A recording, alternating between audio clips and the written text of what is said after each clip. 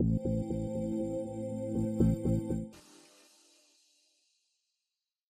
วัสดีค่ะ ชื่อชลดาสีสังส้มนะคะ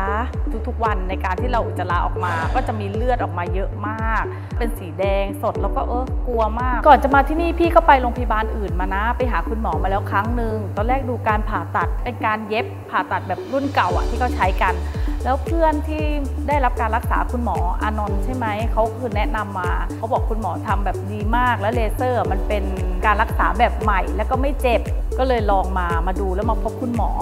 หมอก็ซักประวัติก่อนว่าอออาการที่คนไข้เป็นเนี่ยเป็นมาระยะเวลาเท่าไหร่ซักประวัติเสร็จปุ๊บเราก็เริ่มตรวจร่างกายสรุปว่าของคุณชลดาเนี่ย หลักๆ เลยก็คือมีเรื่องของแผลปริขอบทวารหนักนะครับร่วมกับวิสีดวงทวารหนักนะครับก็เป็นทั้งสองโรคนี้ร่วมกันนะครับทำให้อาการเนี่ยมันค่อนข้างที่จะรุนแรงหลักๆ เลยที่อาการเจ็บที่เกิดขึ้นเนี่ยเนื่องจากว่ามันมีแผลปริขอบทวารหนักที่มันค่อนข้างลึกนะครับแล้วก็ทำให้มีเลือดออก ซึ่งแผลปริเขาทอนหนักในกรณีนี้เนี่ยหมอคิดว่าก่อนหน้านี้อาจจะมีอาการท้องผูกเป็นเป็นหนหายทำให้มีแผลตื้นๆมาก่อนช่วงแรก แล้วก็หลังจากนั้นก็เป็นแผลที่มันลึกขึ้นลึกขึ้นลึกขึ้นนะครับ จนหูรูดชั้นในของบริเวณทวารหนักเนี่ยมันมีการหดเกร็งตัวมากขึ้นทำให้เวลาถ่ายมันถ่ายได้ค่อนข้างยากนะครับ แล้วก็ทุกครั้งก็ต้องต้องเบ่งถ่ายใช้ แรงค่อนข้างเยอะนะครับทำให้ยิ่งเจ็บทรมานไปอีก เพราะฉะนั้นสิ่งที่เราต้องแก้ก่อนเลย คือต้องแก้เรื่องของหูรูดที่มันหดเกร็งแล้วก็แผลที่ขอบทวารนะแล้วก็หลังจากนั้นเราก็ไปแก้ไขเรื่องของริดสีดวงนะครับแต่ทั้งหมดเนี่ยเราทำใน session เดียวกันนะครับปัจจุบันที่เราใช้คือเราใช้ตัวเทคโนโลยีเลเซอร์เข้ามาช่วยนะครับอันดับแรกเราก็ไปยิงบริเวณหูรูดให้มันคลายตัวนะครับแล้วก็ไปยิงบริเวณริดสีดวงทวารให้มันฝ่อไป โดยที่ไม่มีแผลผัก ข้อดีของเทคโนโลยีเลเซอร์เนี่ยหนึ่งเลยคือประสิทธิภาพในการรักษาสูงถึง 95%หมายความว่าเราทำไปแล้วเนี่ยโอกาสเป็นกลับมาซ้ำเนี่ยน้อยกว่า 5% 2 ก็คือเจ็บแผลน้อยมากนะครับพักฟื้นที่โรงพยาบาลแค่คืนเดียว วันรุ่งขึ้นก็สามารถกลับไปใช้ชีวิตกลับไปทำงานได้ตามปกติ อาการคนไข้ก็ดีขึ้นเลย ขับถ่ายได้ดีขึ้นโดยที่ไม่ต้องเบ่ง อุจจาระก็เป็นลำเป็นก้อนดีนะครับ ไม่มีเลือดออก อาทิตย์หนึ่งแผลก็หายเกือบหมดแล้วครับ ก็คือมาครั้งแรกก็ประทับใจในคุณหมอ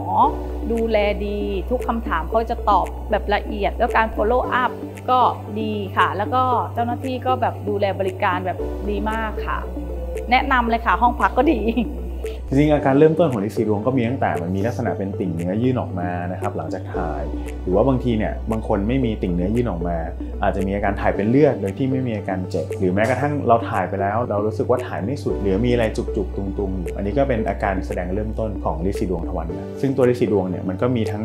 ริดสีดวงทวารหนักภายใน แล้วก็ริดสีดวงทวารหนักภายนอกหลักๆ เลยริดสีดวงมันเป็นกลุ่มก้อนของเส้นเลือดฝอยนะครับที่โตขึ้นมาเนื่องจากว่ามันมีเส้นเลือดแดงเนี่ยไปเลี้ยงมากขึ้นมากขึ้นเรื่อยๆ ก็คือเรานั่งห้องน้ำนานมีอาการท้องผูกต้องเบ่งตลอด พวกนี้ทำให้เลือดเนี่ยมันไป pool มากขึ้นมากขึ้นมากขึ้นทำให้กลุ่มก้อนของเส้นเลือดฝอยที่เป็นริดสีดวงเล็กๆเนี่ยมันโตมากขึ้นกลายเป็นริดสีดวงที่มันใหญ่ขึ้นใหญ่ขึ้นใหญ่ขึ้น ถ้ามันเป็นหนักขึ้นมากจริงๆเนี่ยบางทีเนี่ยครับเลือดมันก็จะไหลไม่หยุดได้เนื่องจากมันเป็นกลุ่มก้อนของเส้นเลือดฝอย มีอาการอักเสบแล้วมันทำให้ปวดทรมานค่อนข้างมาก เราใช้ชีวิตตามปกติประจำวันไม่ได้เลย ถ้าเราหลีกเลี่ยงพฤติกรรมที่เรานั่งห้องน้ำนานนะครับช่วงไหนที่เรามีอาการท้องผูกเราดื่มน้ำไม่เยอะทานผักผลไม้ที่มีไฟเบอร์ มันก็จะช่วยลดปัจจัยเสี่ยงในการเป็นลิซิดวงได้ยังไงถ้าเริ่มมีอาการเริ่มต้นเนี่ยก็อยากให้มารักษาก่อนปัจจุบันเนี่ยครับเทคโนโลยีมัน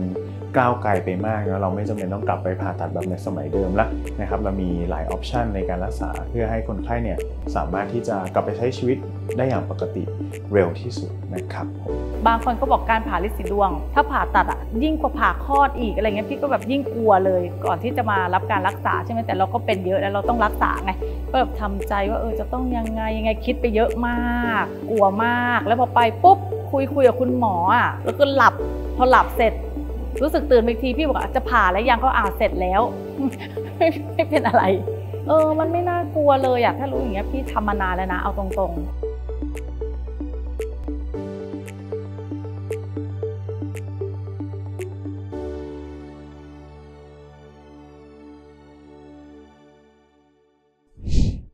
ถ้าไม่อยากพลาดสาระดีๆ กับโรงพยาบาลเวชธานี อย่าลืมกดไลค์ กดแชร์ กด Subscribe และกดกระดิ่งให้เราด้วยนะคะ